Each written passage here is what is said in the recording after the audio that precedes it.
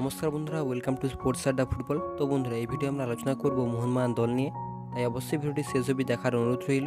আর যারা আমাদের চ্যানেলে প্রথমে এসব এখনও পর্যন্ত আমাদের চ্যানেলটিকে সাবস্ক্রাইব করনি, তারা নিচে লাল কালারের সাবস্ক্রাইব বাটনে ক্লিক করে আমাদের চ্যানেলটিকে সাবস্ক্রাইব করে দিও এবং তার পাশে বেল আইকনটি অবশ্যই অন করে দিও, কারণ পরবর্তী ভিডিওর নোটিফিকেশন সবার আগে পাবে।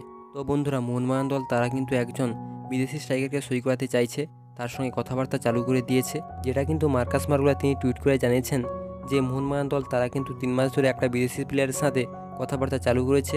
তো এই প্লেয়ারটি সম্ভবত হতে চলেছেন বর্জা বেস্টন এর আগে মোহনবাগান দল এই প্লেয়ারটির সঙ্গে কথাবার্তা চালিয়েছিল, কিন্তু সেই সময় দাঁড়িয়ে এই প্লেয়ারটিকে সাইন করাতে পারেনি মোহনবাগান দল। তবে বর্তমান সময়ে দাঁড়িয়ে এই প্লেয়ারটিকে যে কোনো মূল্যে নিয়ে আসতে চাইছে কোচ জোয়ান ফেরান্দো। বর্তমান ক্লাবের সঙ্গে তিরিশে জুন দু হাজার তেইশ সালে কন্ট্যাক্ট শেষ হয়ে যাচ্ছে। তো এই প্লেয়ারটিকে নিয়ে আসতে গেলে কোনো রকম ট্রান্সফার ফি দিতে হবে না। সেই কারণে মোহনবাগান ম্যানেজমেন্ট খুব শীঘ্রই এই ডিলটাকে ডান করতে চাইছে।